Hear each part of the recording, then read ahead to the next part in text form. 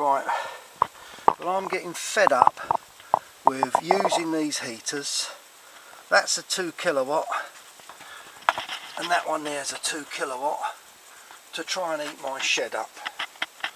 By the time it warms up it's time to go in and as you can see I've got quite a lot of gear in my shed and I want to build that plane now.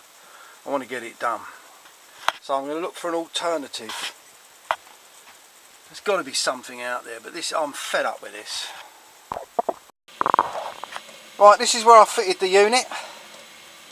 And it's been running for 7 minutes now, no 30 odd minutes now from uh, its start. It's quite toasty in here now, I'm not doing bad at all.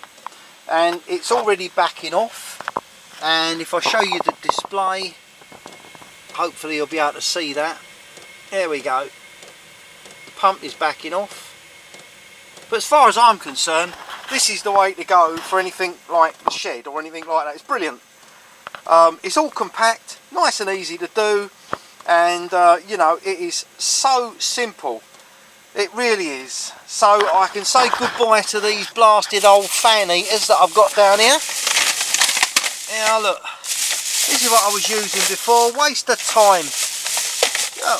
So it's, you know, if you put a fan eater up against this, look, there you go. There's a fan heater up against it. So, you know what, two fan heaters wide, uh, in length rather, you can't go wrong. It really is an amazing bit of kit.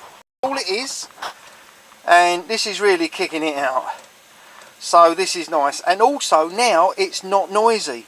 Now it's backed off and it's gone on to normal mode if you like. Now it's just to maintain the heat it's not noisy at all and I don't think it will be too bad outside but you do need to fit a silencer really.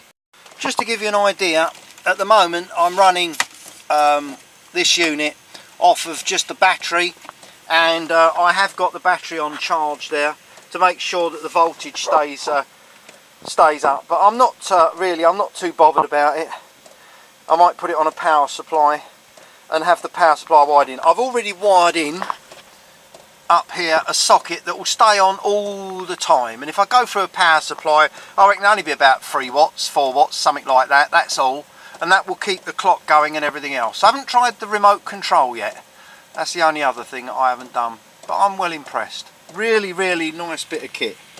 Really is a nice bit of kit.